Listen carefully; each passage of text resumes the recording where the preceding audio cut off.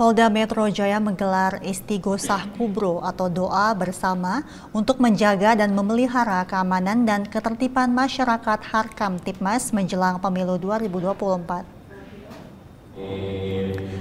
Dirbinmas Polda Metro Jaya Kombes Pol Badia Wijaya mewakili Kapolda Metro Jaya Irjen Pol Karyoto untuk menghadiri istighosa kubro di Masjid Al-Kautsar Polda Metro Jaya pada Selasa 6 Februari 2024. Kegiatan ini dihadiri oleh sejumlah pejabat utama Polda Metro Jaya, anggota DAI dan Daiyah Polres di wilayah hukum Polda Metro Jaya.